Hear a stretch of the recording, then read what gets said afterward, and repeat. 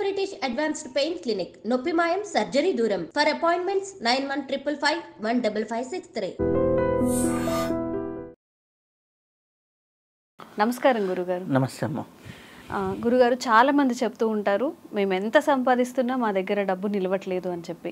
ఇప్పుడు ఆర్థికంగా మనం అభివృద్ధి అవ్వాలన్నా వచ్చిన దానం మన దగ్గర నిలవాలన్నా మనం ఏం చేస్తే మంచిదంటారు? ఎలాంటి పనులు చేస్తే ఇంకొంచెం ఫైనాన్షియల్గా మనం సెటిల్ అవ్వగలుగుతాము? అంటే మనకి అద్భుతమైనటువంటి కొన్ని గ్రంథాలు ఉన్నాయి ఫైనాన్షియల్ ప్లానింగ్కి ఆ ఫైనాన్షియల్ ప్లానింగ్ లేకపోవడమే చాలామందికి ఆర్థిక సమస్యలు. అవును. ఏ అంటే ఒకటి కర్మానుసారైన కొన్ని ఇబ్బందులు ఉన్న వాళ్ళు ఉన్నారు. వీళ్ళు వంద పర్సెంట్లో మనం చూస్తే ట్వంటీ థర్టీ పర్సెంట్ ఉంటారు. మిగిలిన సెవెంటీ పర్సెంట్ ఆర్థికంగా ఇబ్బంది పడుతున్నారు అంటే వాళ్ళు ప్లానింగ్ లేకుండా చేసుకోవటం వల్లే ఇబ్బందులు జరగటం అనమాట ఉమ్, సో నాకు ఎట్లా అంటే దీనికి మనకు మంచి ప్రిన్సిపల్ ఉంది. ఫైనాన్షియల్గా బాగా ఎదగాలి అంటే ఏం చేయాలి? అంటే ఫస్ట్ మన ఫైనాన్షియల్గా ఎదగాలి అంటే మన రెస్పాన్సిబిలిటీస్ ఏంటి అనేది ఒక లిస్ట్ అవుట్ చేసుకోవాలి. నా కుటుంబ బాధ్యత ఏంటి? నా ఆరోగ్య బాధ్యత ఏంటి? నా వ్యక్తిగత బాధ్యత ఏంటి? అలాగే ఇవి కాకుండా అలాగే నా చుట్టూ ఉన్నటువంటి సమాజ బాధ్యత ఏంటి? పిల్లల బాధ్యత ఏంటి? ఇలా మనం ఒక డిసిప్లిన్గా బాధ్యత తీసుకొని దానికి దేని దానికి నేను ఎంతెంత రెస్పాన్సిబిలిటీస్ ఉన్నాను? ఆర్థికంగానే కాదు. అన్ని కోణాల్లో నేను చెప్తున్నాను ఆ రెస్పాన్సిబిలిటీ అనేది తీసుకోగలిగితే ఆ రెస్పాన్సిబిలిటీని రెగ్యులరైజ్ చేయగలిగితే ఆ రెస్పాన్సిబిలిటీని నెక్స్ట్ లెవెల్ స్టెప్ రెగ్యులర్గా చేయగలిగితే. ఉమ్, ఓకే అది ఒక డిసిప్లిన్ యాక్షన్ కింద మారుతుంది. అప్పుడు ఒక ఆర్గనైజింగ్ వేలోకి వస్తుంది. అప్పుడు ఫస్ట్ ఏమవుతుంది? రెస్పాన్సిబిలిటీ రెగ్యులారిటీ తర్వాత ఆర్గనైజేషన్ ఎప్పుడైతే ఆర్గనైజింగ్గా వచ్చిందో ఈ మూడు ఎవరైతే పాటిస్తారో వాళ్ళకి ఫైనాన్షియల్ ప్రాబ్లమ్స్ ఉండవు. అంటే ఫర్ ఎగ్జాంపుల్ నేను మొన్న ఒకరు వచ్చారు నా దగ్గరికి ఆస్ట్రాలజికల్గా క్లయింట్ లాగా వచ్చినప్పుడు ఆవిడ చాలా కాస్ట్లీ చీర కట్టుకున్నారు. అంటే అరౌండ్ చాలా అనమాట నేను అన్నాను వాళ్ళ ఫైనాన్షియల్ స్టేటస్ అంత ఉండి కట్టుకుంటే తప్పులేదు. తప్పులేదు. ఆ అమ్మాయి నాకు బాగా తెలుసు. తెలిసిన అమ్మాయి కాబట్టి నేను చెప్తున్నాను అనమాట సో ఏంటి? స్థితికి మించినది. ఉమ్, అన్నమాట. నేను ఊరికి సరదాగా అడిగా ఏ చీర ఎవరైనా ఈ కాలంలో ఒక వంద రెండు వందల సార్లు ఎవరైనా చీరని కడుతున్నారా? లేదు. ఎవరు కట్టుకోలేరు కూడా. అవునా? ఏ డ్రెస్నైనా హండ్రెడ్ టైం హండ్రెడ్ టైమ్స్ వేస్తున్నారా? హండ్రెడ్ టైమ్స్ ఎవరు వేయటం లేదు హండ్రెడ్ టైమ్స్ నువ్వు డ్రెస్ని రిపీట్ చేయాలంటే మినిమం ఆ డ్రెస్ని ఆరేడేళ్ళు వాడాలి. అర్థమైందా? సో దానికి ఎంత కాస్ట్ పెట్టాలి నీ సంపాదనలో దానికి నీ నీ కాస్ట్ ఎంత? నీ నీ పదివేల రూపాయల సంపాదన అనుకోండి దానికి తగినట్టుగా పెట్టి లేదా లక్ష రూపాయల సంపాదన అనుకోండి దానికి తగినట్టుగా ఎంత కేటాయించాలి? ఇక్కడ కూడా నీ విచక్షణే. అవును. ఆ కేటాయింపు అనేది కరెక్ట్గా ఉంటే ఆ బ్యాలెన్స్ అనేది కరెక్ట్గా ఉంటే ఆటోమేటిక్గా నీకు అన్నిట్లో ఆ బ్యాలెన్స్ వస్తుంది. ఓకే? మొన్న నా దగ్గరకు ఒక అతను వచ్చాడు. Two lakhs salary. One and half one and one and half one sixty ల్యాక్స్కో EMIs ఉన్నాయి. రెండు నెలలు జాబ్ పోయింది. విల విల విల విల కొట్టుకుంటున్నాడు. అంతే కదా. ఉమ్, అర్థమైందా? అతను వన్ ల్యాక్ శాలరీకి ఈఎంఐలు ఉండి వన్ ల్యాక్ సేవింగ్ చేసుకుంటూ ఉండి ఒక యాభై వేలు ఫ్యామిలీ ఖర్చు పెట్టుకుంటూ యాభై వేలు పర్సనల్ సేవింగ్ ఉందనుకోండి ఆటోమేటిక్గా అతని జీవితం ఎలా ఉంటుంది? పీస్ఫుల్గా వెళ్ళిపోతుంది. పీస్ఫుల్గా ఒక నాలుగు నెలలు ఒక ఆరు నెలలు జాబ్ లేకపోయినా సేవింగ్లో అమౌంట్తో బ్యాలెన్స్ అవుతుంది. అవును. ప్రతి నెల అలా ఉండాలని లేదు కదా మనకి కోవిడ్ లాంటి పరిస్థితులు వచ్చాయి. అప్పుడు సప్తగ్రహ కూటమి వచ్చేసి. మనకి టూ అండ్ హాఫ్ ఇయర్ ఉంది. రేపు రాబోయే రోజుల్లో ఇంకా అంతకంటే పెద్దది వస్తుంది. ట్వంటీ సిక్స్త్ మిడిల్ నుంచి థర్టీ వన్ వరకు చాలా దారుణమైన పరిస్థితులు ఉంటాయి? ఇట్లాంటి పరిస్థితుల్లో నువ్వు సేవింగ్ ఉన్న పర్సన్ అనుకోండి. ఇటువంటి పరిస్థితులు వచ్చినా ఏమీ కాదు సేవింగ్సే లేని పర్సన్ అనుకోండి. ఏమవుతుంది వాడి జీవితం విలవిల్లాడుతుంది. ఇక్కడ మనకి ఇవన్నీ ఫిజికల్ డైమెన్షన్లో కనిపించేవి. ఓకే. మనము చాలామంది అంటారు లక్ష్మీదేవిని ఉపాసిస్తే డబ్బులు బాగా వస్తాయి. మనకి రెమెడీస్లో కూడా చాలా చెప్తారు ఇలా ఈ దీంతో పూజలు చేయండి. ఇది దీపం పెట్టుకోండి ఉప్పు దీపం ఓకే అవన్నీ ఏం చేస్తుంది అంటే. నీకు నీ నీ సంపదని నీ సంపదని ఎలా ఖర్చు చేయాలో ఎలా బ్యాలెన్స్ చేయాలో ఎలా రెగ్యులైజ్ చేయాలో నేర్పించడానికి కావాల్సిన విచక్షణని బుద్ధిని ఇస్తుంది. ఓకే? నీకున్న సంపదని ఎలా బ్యాలెన్స్ చేసి రెగ్యులైజ్ చేసుకోవాలో ఇచ్చే ప్లానింగ్ని రావడానికి లక్ష్మీదేవి సహకరిస్తుంది. ఆ ఎన్విరాన్మెంట్ క్రియేట్ అవ్వడానికి కావాల్సిన ఇదిని ఇస్తుంది. ఓకే? అప్పుడు నీకేమవుతుంది? తెలియకుండానే ఆ ఫ్లోలో వెళ్ళిపోతూ ఉంటావు సేవింగ్స్కి సేవింగ్ అవుతూ ఉంటుంది ఉంటుంది. అప్పుడు ఆ దానికోసం మన ఆరాధన మన డివైన్ ఎనర్జీ కావాలి. ఆ డివైన్ ఎనర్జీని నువ్వు ధ్యానంలో సంపాదిస్తావా? చక్రాస్ యాక్టివేషన్లో సంపాదిస్తావా? లేకపోతే ఇంకొక పూజా విధానంలో సంపాదిస్తావా? తీర్థయాత్రలు చేసి సంపాదిస్తావా? ఎలా చేసుకో? మీకు అనాహత చక్రం. హృదయ చక్రం మన షట్చక్రాల్లో హృదయ చక్రం హృదయ చక్రంలో మంచి ఎనర్జీ ఉంటే వారికి ఫైనాన్షియల్ ప్రాబ్లం అనేది ఉండదు. హృదయ చక్రం మంచిగా ఉండాలి అంటే వాడి బుద్ధి ఏమి ఉండాలి చాలా ప్లెయిన్గా ఉండాలి. ఎవరు ఎవరితో మనం పోయి ఒక షాప్లో కొంటాం? ప్రశాంతంగా మాట్లాడే వ్యక్తి దగ్గరికి పోయి షాప్లో కొంటాం. మంచిగా పలకరించే వ్యక్తి దగ్గరికి పోయి వ్యాపారం. వాడు ఎక్కడి నుంచి మాట్లాడుతున్నాడు? హృదయం నుంచి మాట్లాడుతున్నాడు. అవునా. మృదు స్వభావి. మృదువుగా మాట్లాడే వాళ్ళ దగ్గరికే వ్యాపారం జరుగుతుంది లక్ష్మీదేవి కూడా అక్కడికే వెళ్తుంది. నువ్వు నీ ఇంట్లో ఎంత మృదు మృదుంగా ఉన్నావు మృదుత్వంగా ఉన్నావు. నువ్వు ఎంత ఉన్నావు ఆ, నీ ఇంట్లో లక్ష్మీదేవి స్వరూపమైనటువంటి తత్వాలకి విలువనివ్వకుండా. నువ్వు జీవన విధానం ఉండి నాకు లక్ష్మీదేవి కావాలంటే ఒకరు వచ్చారు ఇంటికి. మంచినీళ్ళు ఇవ్వాలి ఆ, నువ్వు కూర్చొని పట్టించుకోలేదనుకోండి ఏమవుతుంది వాడు దప్పికతో వెళ్ళిపోయాడు బయటికి. అనుకోండి అక్కడ వాటర్ అనే ఎలిమెంట్ వీక్ అయింది. లక్ష్మీదేవి వనరుల్లో వాటర్ అనేది ఒకటి. నువ్వు మంచినీళ్ళు తాగేటప్పుడు దాన్ని ప్రేయర్ చేసుకొని హ్యాపీగా నాకు ఆర్థిక వృద్ధిని పెంచు నాకు మానసిక ప్రశాంత పెంచు అని వాటర్ని పట్టుకొని ప్రేయర్ చేసుకొని కానీ తాగితే. నీ బాడీని హీల్ చేసే తత్వం దాంట్లో ఉంది. అదే దాన్ని తిడుతూ తాగామనుకోండి ఎంబడి ఇరిటేషన్ తెచ్చే తత్వం కూడా వాటర్కు ఉంది. వాటరు ఎనర్జీని క్యారీ చేస్తుంది అందుకని దేవుడు దగ్గరగా పెట్టినటువంటి వాటర్లో ఆ వైబ్రేషన్స్ లాక్కుంటుంది కాబట్టి ఆ వాటర్ని తీర్థంగా మనకు ఆలయాల్లో ఇస్తారు. దైవత్వ వైబ్రేషన్స్ని బాగా తీసుకుంటుంది కాబట్టి తీర్థంగా ఇస్తారు. ఎప్పుడైతే ఫై ఫైనాన్షియల్ డిసిప్లిన్ లేకపోతే ఎప్పుడైతే నువ్వు నిత్య జీవితంలో ఒక ఆర్గనైజింగ్ లేకపోతే లక్ష్మీదేవి తత్వం అనేది నీ ఇంట్లోకి ఉండదు. లక్ష్మీదేవి తత్వం అనేది లేకపోతే నువ్వు ఎన్ని లక్ష్మీ పూజలు చేసినా ఎన్ని యజ్ఞాలు చేసినా ఎన్ని కుబేర హోమాలు చేసినా ఎన్ని కుబేర దీపాలు ఆకాశ దీపాలను వెలిగించినా ఉప్పు దీపాలను పెట్టినా బంగారు పూలతో లక్ష్మీదేవికి పూజ చేసినా ప్రయోజనం లేదు. కాబట్టి నీలో ఆ తత్వాన్ని నింపుకొని ఆ తత్వంతో నువ్వు జీవిస్తున్నప్పుడు ఆటోమేటిక్గా వాళ్ళని చూడంగానే మనకిస్తుంది. చూడంగానే అమ్మాయిని చూడరా లక్ష్మీదేవి లాగా ఉంది. మ్మ్. అవును. ఆ ఇంట్లో లక్ష్మీదేవి ఖచ్చితంగా వస్తుంది. మ్మ్. ఇంట్లో క్లీన్గా లేకుండా నీట్నెస్గా లేకుండా ఎలా పడితే అలా ఉంటే ఆ ఇంట్లోకి లక్ష్మీదేవి ఎలా వస్తుంది.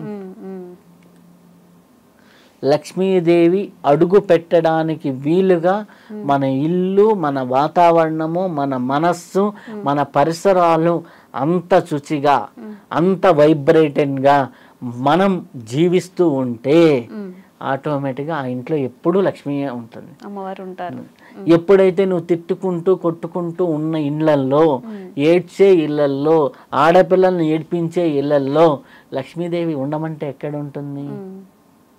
మనం మనమే ఇప్పుడు ఫర్ ఎగ్జాంపుల్ ఒకరింటికి వెళ్ళాం. వాళ్ళు మనకు తెలిసిన బంధువులే. వాళ్ళు వైఫ్ అండ్ హస్బెండ్ ప్రతి ఒక్కదానికి కొట్టుకుంటున్నారు. వాళ్ళ ఇంట్లో రెండు రోజులు ఉండబుద్ధి అవుతుందా? లేదు. ఎప్పుడెప్పుడు వచ్చేద్దాం అనిపిస్తూ ఉంటుంది. మన పని చూసుకొని పో ఇక్కడి నుంచి బయటపడదాం రా అన్నట్టుగా ఉంటుంది. రెండోసారి ఆ ఇంట్లోకి వెళ్ళబుద్ధి అవుతా? వెళ్ళాలనిపించదు. మనిషిగానే ఇలా అనిపిస్తే దేవత ఏమంటుంది. అర్థమైందా? లక్ష్మీదేవి తత్వాన్ని నింపుకొని లక్ష్మీదేవి గుణాలను నింపుకొని మన వనరుల్ని మనం పెంచుకుంటూ మన జీవితంలో రెస్పాన్సిబిలిటీని అలాగే రెగ్యులారిటీని అలాగే ఆర్గనైజింగ్ని ఇవి పెంచుకుంటూ అప్పుడు నువ్వు వీటికి బలాన్ని ఇవ్వడానికి. నువ్వు ఏ బీజ మంత్రం చేసినా లక్ష్మీదేవికి సంబంధించిన ఏ పూజ చేసినా ఆటోమేటిక్గా నువ్వు ఒక్కసారి అట్లా చేస్తే ఇక్కడ వంద రెట్లు ఫలితం వస్తుంది. ఇది లేకుండా వంద సార్లు పూజ చేసినా ఒకసారి ఫలితం రాదు. చాలామంది మిస్ చేస్తుంది. పూజల గురించి ఓ అని చెప్పేస్తాను. కానీ పూజ చేసినప్పుడు పూజకి తగిన గుణము బుద్ధి మారకపోతే. ఉంటుంది. ఇప్పుడు ఒక మంచి కంపెనీలో పది లక్షలు సంపాదించేవాడికి లక్ష రూపాయలు సంపాదించేవాడికి స్కిల్లో పెద్ద తేడా ఉండదు. వాడి మైండ్ సెట్లోనే తేడా ఉంటుంది. ఆ మైండ్ సెట్ మార్చగలిగితే ఆ మైండ్ సెట్ ఆ విధంగా ఉంచుకోగలిగితే ఆటోమేటిక్గా లక్ష్మీదేవి తత్వం అనేది వాడి దగ్గర ఉంటుంది.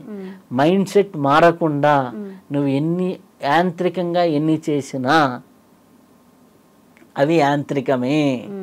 అవి భౌతికమే. దాని తాలూకు పుణ్యకర్మ వస్తుంది. చేసినందుకు. ఏదో కొద్దిగా బ్లెస్సింగ్స్ వస్తాయి. అనుకున్నంత ఫలితం రాదు. ఇప్పుడు నువ్వు ఒక అమ్మాయి కనిపించింది. పాపం ఏదో ఇబ్బందులు ఉన్నాయి నేను లక్ష్మీదేవికే ఇస్తున్నానని అమ్మాయికి హెల్ప్ చేసావు అనుకో. లక్ష్మీదేవి నీ ఇంట్లో ఖచ్చితంగా ఉంటుంది. నీ ఇంట్లో మీ ఆవిడ్ని లక్ష్మీదేవి లాగా చూడకుండా మీ యొక్క కూతుర్ని వాళ్ళని లక్ష్మీదేవి లాగా చూడకుండా మా ఇంట్లో లక్ష్మీదేవి రావాలి అంటే రాదు. ఎందుకంటే వాళ్ళ ఇంట్లో అబ్బా ఆ అబ్బాయిని చూడు. ఇప్పుడు మామూలుగా మనకి ఎవరైనా ఒకరింట్లో ఇస్తే వాళ్ళ అక్కని ఎలా చూసుకుంటున్నాడు? వాళ్ళ అమ్మని ఎలా చూస్తున్నారు? ఆ అబ్బాయికి మన అమ్మాయిని ఇస్తే బాగుంటుంది. ఉంటుంది. అలాగే. లక్ష్మీదేవి కూడా ఫీల్ అయ్యే తట్టు తట్టుగా అంటే ఆ ఇంట్లో ఉంటే వెళ్ళాలరా అనిపించే విధంగా నీ జీవన విధానం ఉండాలి. అలా నీ జీవన విధానం రెగ్యులైజ్డ్గా ఉన్నప్పుడు నువ్వు ఒక్క పుష్పం పెట్టినా లక్ష్మీదేవికి నేను వచ్చేస్తున్నాను వచ్చేస్తుంది. లేదు నువ్వు నూట ఎనిమిది బంగారు పుష్పాలు పెట్టినా నీ జీవన విధానం సక్కంగా లేకపోతే ఆటోమేటిక్గా ఫలితం అనేది చాలా తక్కువగా ఉంటుంది. ఇది తెలుసుకొని లక్ష్మీదేవి తత్వాన్ని అర్థం చేసుకొని లక్ష్మీదేవి యొక్క ఇదిని అర్థం చేసుకుంటే నీ జీవితంలో ప్రతి వనరు లక్ష్మి మనం పీల్చే గాలి లక్ష్మిని మనం నడిచే ఈ భూమి లక్ష్మిని మనము చూసే ప్రతి ప్రకృతి లక్ష్మిని ప్రతి వనరు లక్ష్మిని మనకు కలిగే ప్రతి ఆనందము లక్ష్మిని. అదన్నిటినీ నేను లక్ష్మీతత్వాన్ని నిరంతరం ప్రతి క్షణం అనుభవిస్తున్నాను అన్నప్పుడు ఇంత మించిన లక్ష్మీ ఆరాధన లేదు. ఆ ఆరాధనతో జీవిస్తూ ఉంటే వాడికి ఎప్పుడు లక్ష్మీదేవితో కొరవ ఉండదు. గురుగారు లలితా పారాయణం చేస్తూ ఉంటారు. అలాగే గాయత్రి మంత్రం పఠిస్తే మంచిది అంటూ ఉంటారు. చాలా మందికి ఉన్న సందేహం ఏంటంటే అసలు ఆడవాళ్ళు గాయత్రి మంత్రం చదవచ్చా? కొంతమంది చెప్పేది ఏంటంటే చదవకూడదు అని చెప్తున్నారు. అసలు గాయత్రి మంత్రం చదివితే ఎలాంటి ఫలితాలు కలుగుతాయి? ఎవరెవరు గాయత్రి మంత్రాన్ని పఠించవచ్చు? మీకు అద్భుతమైన గ్రంథం గురించి నేను చెప్తా గాయత్రి మహావిజ్ఞానం. పండిత శ్రీరామ శర్మాచార్య గారు. రాసినటువంటి మూడు వాల్యూమ్స్ ఉన్నాయి. ఆ గ్రంథాన్ని చదివిన వాళ్ళకి. ఈ డౌట్లు ఏవి ఉండవు. ఓకే ఎందుకు అంటే గాయత్రి అనేది మగవాళ్ళకే కాదు. మీకు నార్త్ ఇండియా సైడ్ వెళ్తే మన జంజాలు వేసుకుంటారు కదా బ్రాహ్మిన్స్ వీళ్ళు ఆడవాళ్ళకు కూడా జంజాలు ఉంటాయి తెలుసా మనకి సౌత్ ఇండియాలో ఉండవు. నార్త్ నార్త్ ఇండియాలో ఉంటాయి. ఎందుకు ఉండవు అంటే దీంట్లో చరిత్రలో చాలా పెద్ద స్టోరీ ఉంది. మనకి ఇటుపక్క అంతా కూడా ఈ రాష్ట్రాల్లో ముస్లిం పాలన ఎప్పుడైతే వచ్చిందో ఢిల్లీ ఈ కింది భాగంలోకి వచ్చినప్పుడు ఆ ముస్లిం పాలన వచ్చినప్పుడు జంజాలు వేసుకునే వాళ్ళందరికీ శిస్తు కట్టాలి అనేది వచ్చేది. అప్పుడు శిస్తు కట్టడానికి వెళ్ళినప్పుడు అప్పుడు ఆడవాళ్ళు ఎవరైతే మంచిగా ఉంటారో వాళ్ళని లాక్కొని వెళ్ళిపోయేవాళ్ళు. ఓకే? సో జంజం వేసుకుంటే ఇంత ప్రాబ్లమా అని ఎక్కడైతే ఇబ్బంది ఉంది అనే ప్రాంతం అప్పుడు జంజాలు తీసేశారు. సిక్స్టీన్త్ సెంచరీకి ముందర. ఉండేది. మీకు కావాలంటే మీరు చూడండి ఏ అమ్మవారి పూజలో కూడా మనం యజ్ఞోపవీతం మంత్రం చెప్పకుండా చెప్పం. అవును. అవును. కదా? అప్పుడు యజ్ఞోపవీతం ఆడవాళ్ళకి లేకపోతే అమ్మవారి పూజల్లో కానీ ఎక్కడా కూడా యజ్ఞోపవీతం చెప్పకూడదు కదా? షోడశ మన పదహారు సంస్కారాలు పుట్టుక నుంచి చనిపోయే వరకు పదహారు సంస్కారాలు ఉన్నాయి. పదహారు సంస్కారాలే అంటారు. లేడీస్కి పదిహేను సంస్కారాలు అనరు కదా? ఎందుకు యజ్ఞోపవీతం లేదని చెప్పాలి కదా? పదహారే చెప్తారు సంస్కారాలు. ఎందుకు అంటే కాలగర్భంలో అది అప్పుడున్న కాలమాన పరిస్థితుల వల్ల తీసేశారు. కానీ నార్త్ ఇండియాలో చాలా ప్రదేశాల్లో యజ్ఞోపవీతం ఉంది గాయత్రి ఉపదేశం ఉంది ఆడవాళ్ళకి కూడా. జంజం వేస్తారు. కానీ మన సౌత్ సైడ్ అయితే అది లేదు. కాకపోతే స్త్రీలు అన్నప్పుడు మనకి గార్గి దగ్గర నుంచి కానీ సావిత్రి అమ్మ అంటే సావిత్రి సతీ సావిత్రి గారి నుంచి ఎంతో మంది మహాసాధ్వీమణులు గాయత్రి ఉపాసన చేసిన వాళ్ళే. ఓకే? గాయత్రి స్త్రీతత్వమే. కాకపోతే ఏంటంటే గాయత్రి విశ్వశక్తిని ఈజీగా అబ్జర్వ్ చేసుకుంటుంది. ఆ విశ్వశక్తి వచ్చినప్పుడు వీళ్ళు హ్యాండిల్ చేసే సామర్థ్యం కూడా ఉండాలి. అంటే హ్యాండిల్ చేసే సామర్థ్యం అంటే నీకు పవర్లో మనకి హీటర్ పెట్టాం. వాటర్లో పెట్టాం అది ఎట్లా పోయి ఎట్లా పట్టుకుంటే. షాక్ కొడుతుంది. ఇలా షాక్ కొడుతుంది అని తెలిసినప్పుడు తెలిసి తెలియక ఎందుకు చేస్తారా అనేసి ముఖ్యంగా ఆడవాళ్ళని గాయత్రి చేయొద్దు అని కొంత ప్రచారం అయితే జరిగింది. అది తర్వాత మూఢ విశ్వాసంగా మారిపోయింది. ఎలా చేయాలో ఎడ్యుకేట్ చేయాల్సిందే పోయి. అసలు చే అసలు చేయకూడదు అనేది వచ్చేసింది. అయితే ఎందుకు అంటే గాయత్రి మంత్రం అనేది ఊర్ధ్వరేతస ప్రక్రియ. ఊర్ధ్వరైతస్ అంటే మన శరీరంలో ఉన్నటువంటి ఎనర్జీస్ని బ్రెయిన్కి తీసుకెళ్ళేటటువంటి ప్రక్రియ. స్త్రీలలో వచ్చేటటువంటి ఈ నెలసరి ఈ ప్రాబ్లమ్స్ అన్నీ కూడా అధోరైతస్ ప్రక్రియ. ఈ అధోరైతస్ ఎప్పుడైతే కిందకి ఉంటుందో అప్పుడు అట్లాంటి సమయాల్లో చేసినప్పుడు ఆటోమేటిక్ కొద్దిగా డిస్టర్బెన్సెస్ క్రియేట్ అయ్యేదానికి అవకాశం ఉంది ఎనర్జీస్. దానివల్ల ఎక్కువ సఫర్ అయ్యేదానికి ఆస్కారం ఉంది కాబట్టి గాయత్రిని చెయ్యొద్దు అనేది ఇది. అంటే కొన్నిసార్లు చేయి కొన్నిసార్లు చేయొద్దు అనే కన్ఫ్యూజన్ ఎందుకు? ఆడవాళ్ళు చేయకండి అనేది పెద్దవాళ్ళు చెప్పుకుంటూ వచ్చారు. కానీ గాయత్రి చేయటం వల్ల ఏంటంటే సూర్యునితో కనెక్టివిటీ వస్తుంది.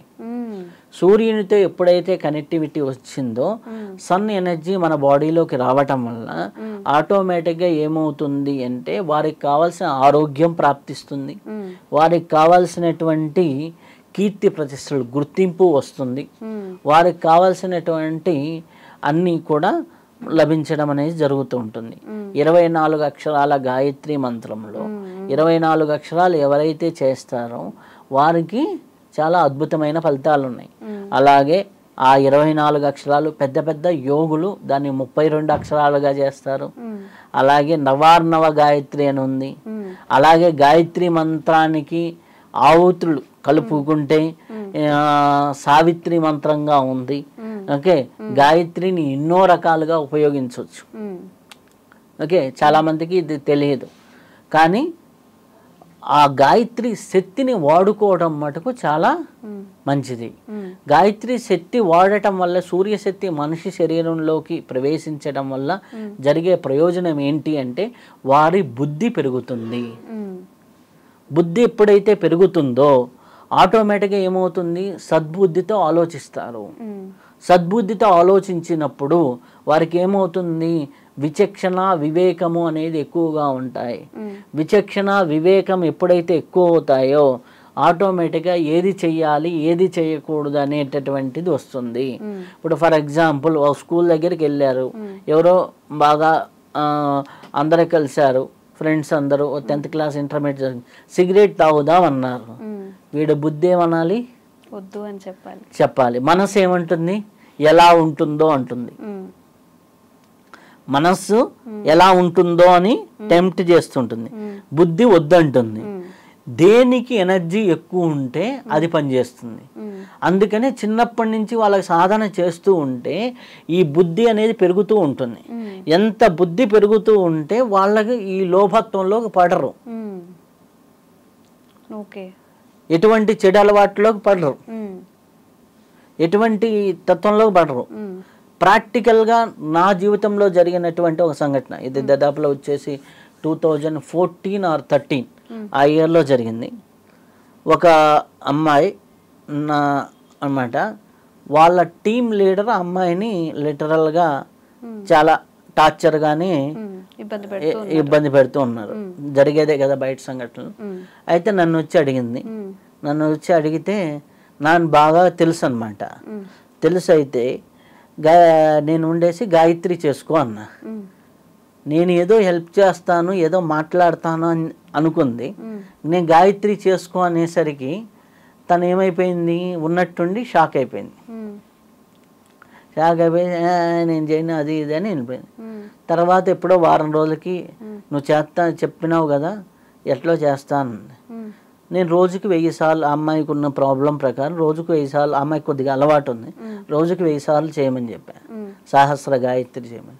సహస్ర గాయత్రి చేయటం మొదలుపెట్టిన తర్వాత ఫస్ట్ త్రీ డేస్కి ఆ అబ్బాయి రోజు ఎట్లా అంటే తను ఎవరైతే టీం లీడర్ ఉన్నారో ఈ పని చేయలేదేంది ఆ పని చేయలేదేంది కావాలని అందరి ముందర తిట్టడం.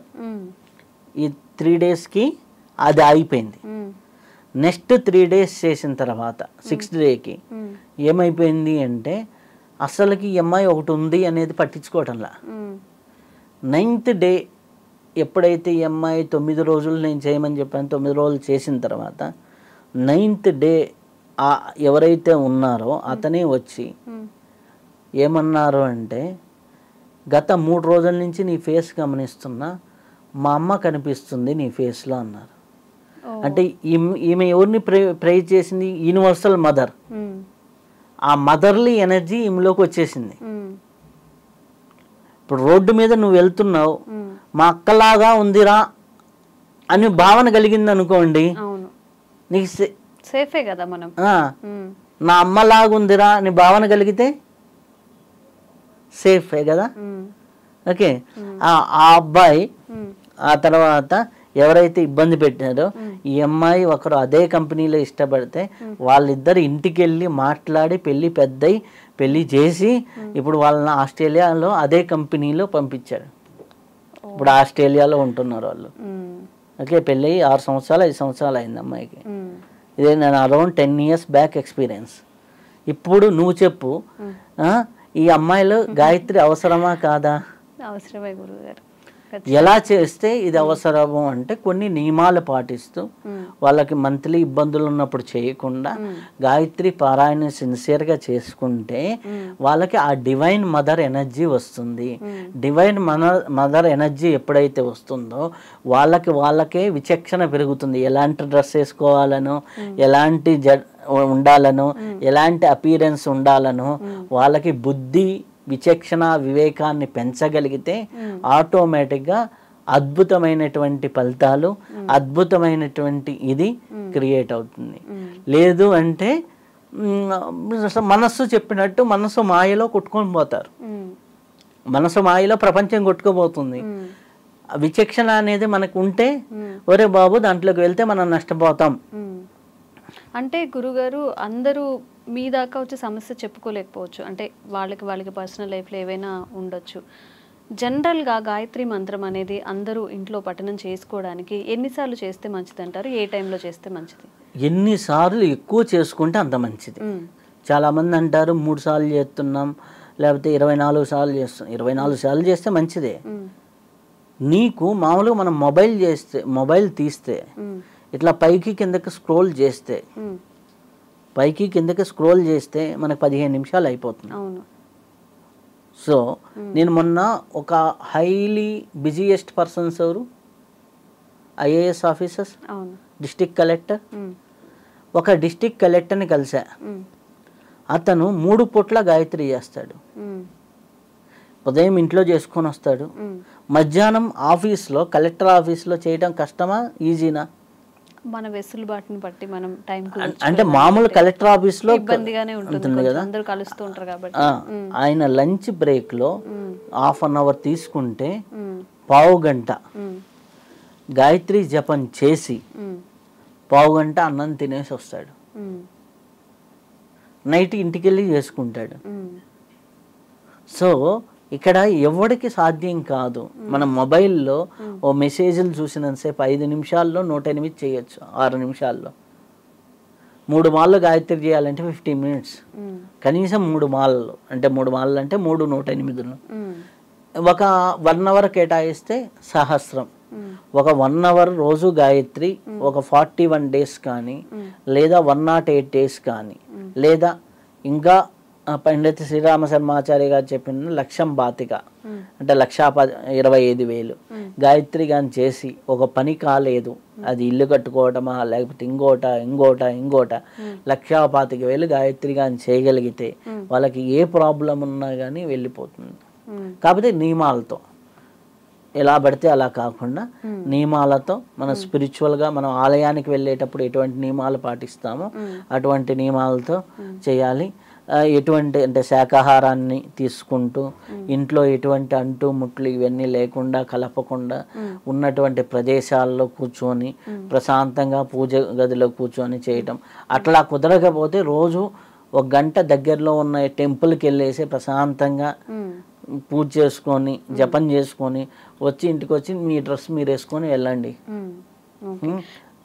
అయితే గురుగారు ఇప్పుడు మనం రోజు పారాయణం చేస్తాము గాయత్రి పారాయణం చేస్తున్నాము. వీక్ మొత్తం అవాయిడ్ చేసినా సండే ఒక రోజు నాన్ వెజ్ తింటూ ఉంటారు. మరి ఆ రోజు పొద్దున్న చేసుకోవచ్చా స్కిప్ చేస్తే మంచిది అంటారా? అంటే ఎనీథింగ్ మంత్ర జపం ఎనీథింగ్ పారాయణ ఎనీ సాధన అసలు మనిషి అన్న వాడికి నాన్ వెజ్ పనికిరాదు. సింపుల్.